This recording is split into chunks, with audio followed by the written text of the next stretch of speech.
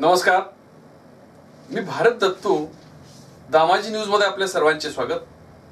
बातमीपत्राच्या सुरुवातीला पाहूया हेडलाईन्स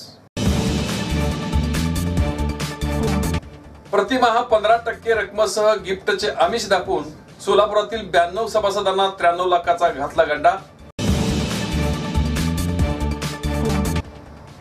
पती पत्नीच्या किरकोळ भांडणातून पत्नीची गळपास घेऊन आत्महत्या.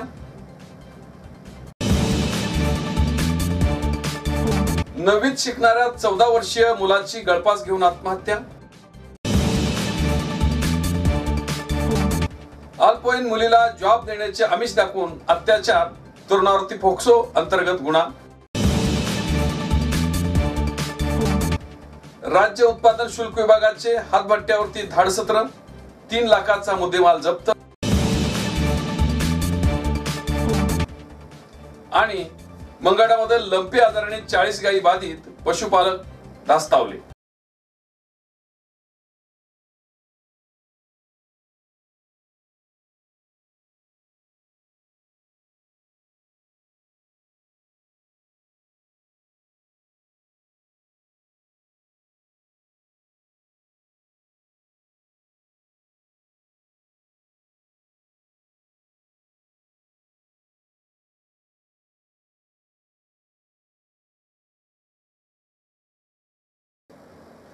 आता पाहूया सविस्तर बातमीपत्र.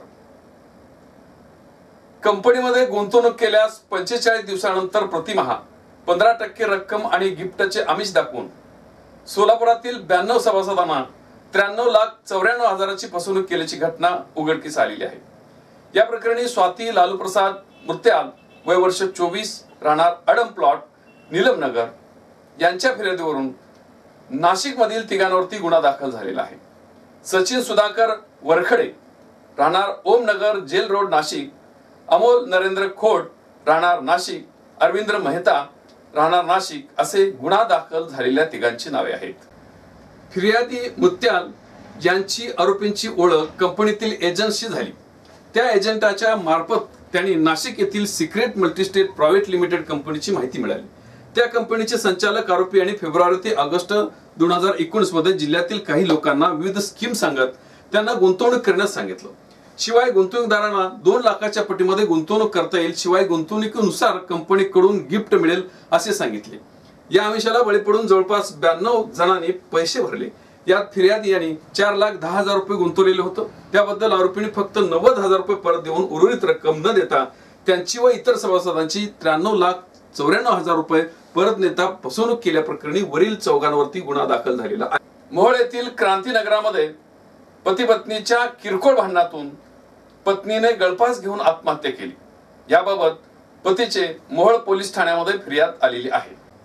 याबाबत मोहोळ पोलिसांकडून मिळालेली माहितीनुसार जहांगीर महबूब कोरबू वय वर्ष त्रेचाळीस राहणार क्रांतीनगर मोहोळ यांचे निसर्ग हॉटेल जवळ इमिटेशन ज्वेलरी दुकान आहे. त्यावरती त्यांची उपजीविका चालते. अठरा ऑगस्ट रोजी दुपारी बारा वाजण्याच्या सुमारासमध्ये जहांगीर आणि त्यांची पत्नी यांच्यामध्ये किरकोळ कारणाचा वाद झाला. त्यानंतर जहांगीर हे शेजारील खोलीत पाणी पिण्यासाठी गेले असता त्यांची पत्नी अमिना हिने खोलीची कडी लावून घेतली आणि खिडकीतून बघितलं तर तिनं नायलॉन दोरीच्या साह्यानं गळपास घेऊन पतीने तिला समजावून सांगण्याचा प्रयत्न केला पण ती मात्र ऐकण्याच्या मनस्थितीमध्ये नव्हती. त्यामुळे पतीने आसपासच्या परिसरातील नागरिकांना बोलावून गोळा करून दरवाजा तोडला पण तिने गळपास घेतलेला होता. सर्वांनी तिला खाली काढून उपचारासाठी दाखल केलं असता ती उपचारापूर्वीच मयत झाली. सोलापुरात नवीमध्ये शिकणाऱ्या एका चौदा वर्षीय मुलाने गळपास घेऊन आत्महत्या केल्याची घटना उघडकीस आलेली आहे. नवीमध्ये शिकणाऱ्या चौदा वर्षीय मुलाने राहत्या घरामध्ये साडीच्या साह्यानं गळपास घेऊन आत्महत्या केली. निशांत होन्नप्पा हुल्ले वय वर्ष चौदा राहणार भारतनगर कुमटा नाका असे आत्महत्या केलेल्या मुलाचं नाव आहे. दरम्यान काही दिवसापूर्वीच होनाप्पा यांच्या मातोश्रीचं निधन झालेलं होतं. हे कुटुंब त्या दुःखामध्ये असताना मुलाने टोकाचं पाऊल उचललेलं आहे. यामुळे नागरिकांकडून हळहळ व्यक्त करण्यात येत आहे. त्यांच्या घरातील सर्व मंडळी घराजवळील नातेवाईकांच्या घरी गेली होती. दरम्यान गुरुवारी रात्री आठ वाजण्याच्या सुमारास निशांतने आपल्या खोलीतील गजाला साडीच्या सह्यानं गळपास घेतला. खूप वेळ होऊनही निशांत हा खाली न आल्याने आई त्याला पाहण्यासाठी त्याच्या खोलीमध्ये गेली तेव्हा निशांत हा लटकलेला अवस्थेमध्ये दिसून आला. ती किंचाळत जोरजोरात रडू लागली. दरम्यान तेथे आलेल्या निशांतचे वडील यांनी लगेच निशांतला खाली उतरून त्याला उपचारासाठी छत्रपती शिवाजी महाराज शासकीय रुग्णालयामध्ये दाखल केलं. दरम्यान डॉक्टरांनी त्याला मृत घोषित केलं. या या घटनेची नोंद सिव्हिल पोलीस चौकीमध्ये झालेली आहे. त्यांच्या पश्चात आई वडील दोन भाऊ असा परिवार आहे. अशी माहिती नातेवाईकांकडून मिळालेली आहे. आईशी वाद झाल्याने एका तेरा वर्षीय मुलगी रागारागाने घरातून बाहेर पडली. ती होम मैदानावरती परिसरामध्ये थांबली असताना आरोपीने तिला पुण्यात जॉब देण्याचं आमिष दाखवून तिला पुण्याला नेलं. तेथे तिच्यावरती अत्याचार करत पैशासाठी तिला भीक मागायला लावलं. अशा आशयाची फिर्याद पीडितेची आई आईने दिली असून या प्रकरणी तरुणावरती पोक्सो अंतर्गत गुन्हा दाखल झालेला आहे. पीडितेचा तिच्या आईशी किरकोळ कारणावरून वाद झाला होता. यामुळे पीडिता ही आठ ऑगस्ट रोजी रात्री आठ वाजता घरातून बाहेर पडली. तेव्हा आरोपी सुलमान गोलीवाळे या पीडितेला भेटला त्याने पीडितेला पुणे येथे जॉब देण्याचा आमिष दाखवून तिला दुसऱ्या दिवशी सकाळी रेल्वेने पुणे येथे नेलं. तिथे जाऊन पीडितेशी आपले विवाह झाले असल्याचं सांगत नातेवाईकांच्या घरी ठेवलं. त्या दिवशी त्यानं पीडितेवरती अत्याचार केला. दरम्यान पीडितेला आरोपीची पहिली लग्न झालेले कळाले. यामुळे पीडितेने याबाबत विचारणा केल्यानंतर तेथे वाद करून ते पुणे येथील हॉस्पिटल परिसरामध्ये राहू लागले. तेथेच मला पैसे आणून दे म्हणत पीडितेला त्रास देऊ लागला. त्यानंतर तिला रोडवरती भीक मागायला लावली जमलेले पैसे पीडितेने आरोपीला दिल्यानंतर आरोपी हा दारू पिऊन येऊन पीडितेला शिवीगाळ करू लागला. त्यानंतर त्याने पीडितेला पंधरा ऑगस्ट रोजी सोलापूर येथे आणले. त्यानंतर आरोपी येथून पळून गेला. ही घटना पीडितेने आपल्या आईला सांगितल्यानंतर याबाबत पीडितेच्या आईनं फिर्याद दिलेली आहे. या प्रकरणी आरोपी सुलेमान गोळीवाले याला पोलिसांनी अटक केलेली आहे. घटनेचा तपास पोलीस करीत आहेत राज्य उत्पादन शुल्क विभागाने शुक्रवारी जिल्हाभर राबवलेल्या छापा सत्रामध्ये हातभट्टी दारूविरोधात नोंदवलेल्या नऊ गुन्ह्यामध्ये तीन लाखाचा मुद्देमाल जप्त केलेला आहे. ही गुळवंची तांडा तिरे तांडा वांगी नंबर येथील तांड्यावरती कारवाई केली. ही कारवाई अधीक्षक नितीन धार्मिक यांच्या मार्गदर्शनाखाली करण्यात आली.